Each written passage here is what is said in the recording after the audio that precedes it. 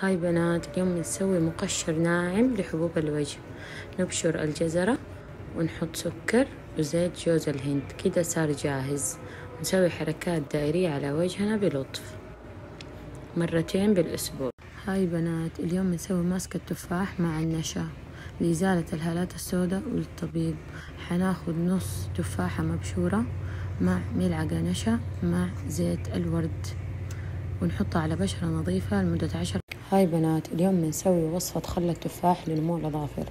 حناخد ربع كوب خل وربع كوب موية وملعقتين كبيرة من جوز الهند وعشرة نقاط من زيت فيتامين إي. نمزجهم وننقع على أظافر عشرة دقايق.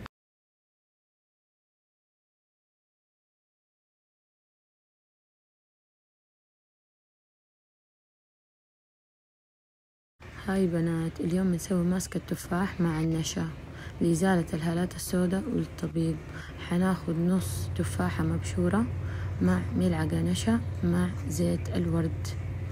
ونحطها على بشرة نظيفة لمدة عشر هاي بنات اليوم بنسوي وصفة خل التفاح لنمو الأظافر حناخد ربع كوب خل وربع كوب موية وملعقتين كبيرة من جوز الهند وعشرة نقاط من زيت فيتامين إي. نمزجهم وننقع على أظافر عشرة دقايق.